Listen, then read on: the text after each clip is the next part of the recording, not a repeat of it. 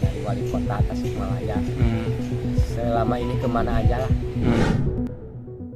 Akibat kedelai langka, para pengrajin tahu dan tempe di kota Tasikmalaya terpaksa mengecilkan ukuran untuk memenuhi kebutuhan konsumen. Mereka menduga kelangkaan kedelai tersebut karena adanya permainan sehingga harganya mahal.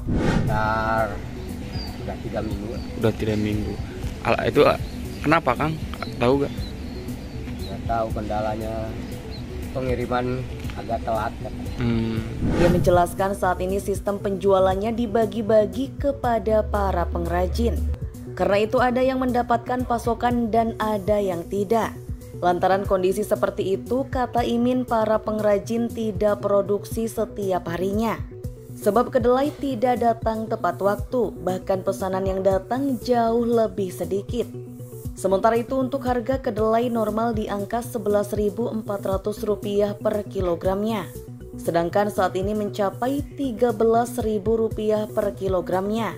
Meski harganya mahal, ia pun terpaksa tidak menaikkan harga ke pembeli. Namun mengakalinya dengan mengecilkan ukuran tempe maupun tahunya. bagi-bagi sekarang ada yang kebagian ada yang enggak Hmm. Kalau nggak kebagian berarti gimana Kang? enggak operasi Hmm. ke, enggak kebagian kalau dari kemarin-kemarin ya waktu ada kendala sekitar 4 kintal sehari Hmm, Kalau sekarang nggak ada? paling dua kintal setengah Hmm. per hari dapatnya Hmm. Akang curi curiga kenapa ini Kang? Ada kecurigaan nggak bisa langka begini? Barangkali ada importir lah Hmm. Ada permainan mungkin ya? iya iya Hmm. Ya, kan harusnya harga normal di 11.4, 11.5 Hmm. sekarang nyampe kan 13.000 Tiga belas ribu ya. kadang lebih ada yang lebih jual Hmm.